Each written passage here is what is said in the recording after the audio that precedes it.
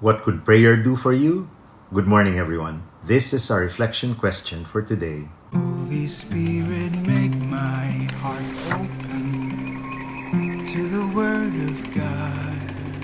Make my heart open to goodness. Make my heart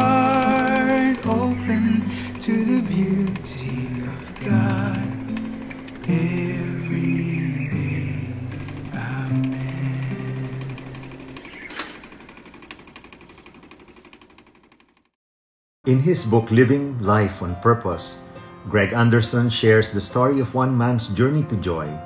His wife had left him and he was completely depressed. He had lost faith in himself, in other people, in God.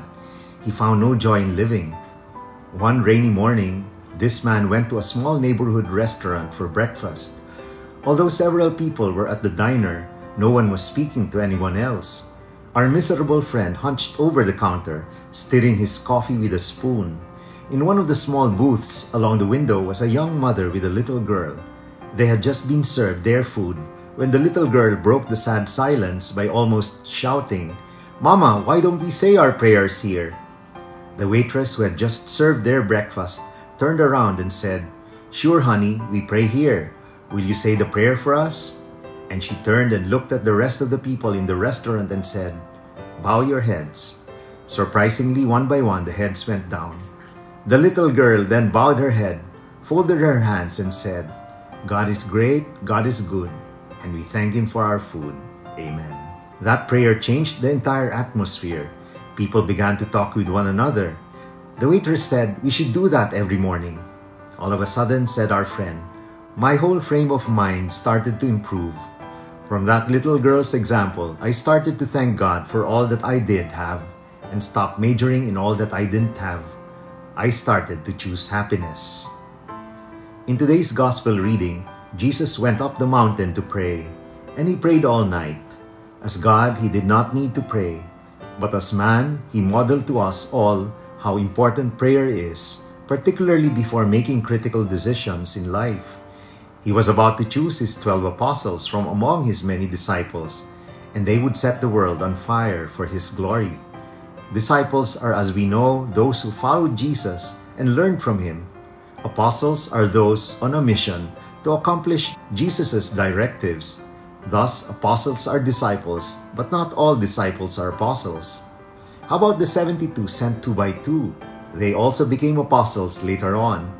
But the first 12, the ones closest to him, were chosen in today's passage. So is Paul an apostle or disciple? He did not follow and learn from Jesus and was therefore not a disciple. He even persecuted his disciples, didn't he? but he became an apostle by virtue of his spreading the gospel after Jesus appeared to him. Jesus taught us what to pray for when he gave us what we now know as the Lord's Prayer. Today, he shows us what happens when we pray deeply, in silence, focused and just listening, just basking in God's presence as we commune with him. And this is captured in the acronym P R A Y, pray. First is P for peace.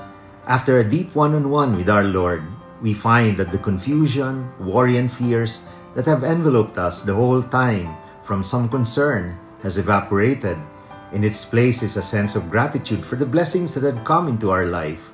We experience tranquility amid the noise that surrounds us.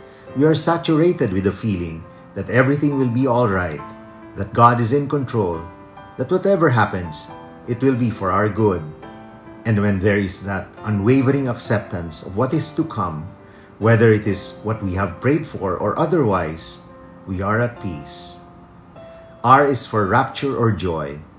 We are wrapped in unexplainable joy when we have connected well with our Father in heaven. That mountaintop experience we pine for is repeated where we are as our eyes are closed and our hearts open to receive His Holy Spirit that awe of God's goodness, greatness, and love makes us go out to the world believing and knowing that happiness is not just real, but the power of joy is velcro to our person. No storm can dampen our day, no problem is too difficult, no task too burdensome. A is for ardor. Our missionary zeal is lit up to do more for our God. when our hearts are set on fire as we pray. We are inspired and ready to pound the pavement, cross vast oceans, and climb steep mountains to bring the good news to all. Impossible is nothing for us, to quote the famous slogan of Adidas, because all things are possible with God. Y is for yearning to love. We become vulnerable to the promptings of the Holy Spirit when He consumes us in prayer.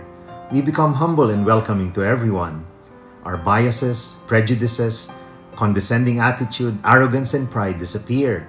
We become willing to forbear and forgive, to follow the commandment of love Jesus gave us. When our life is bathed in prayer, the commandment of love becomes real, reachable, and attainable. We know these peace, rapture, ardor, and yearning to love are all outcomes of a person whose life is prayer. Let us pray. In the name of the Father, and of the Son, and of the Holy Spirit. Amen. Heavenly Father, protect my prayer life, and let your Holy Spirit overpower my tendency to take my prayers for granted. This I pray in Jesus' holy and mighty name. Amen. The name of the Father, and of the Son, and of the Holy Spirit. Amen. God bless your families, brothers and sisters. God bless our Catholic faith and couples for Christ.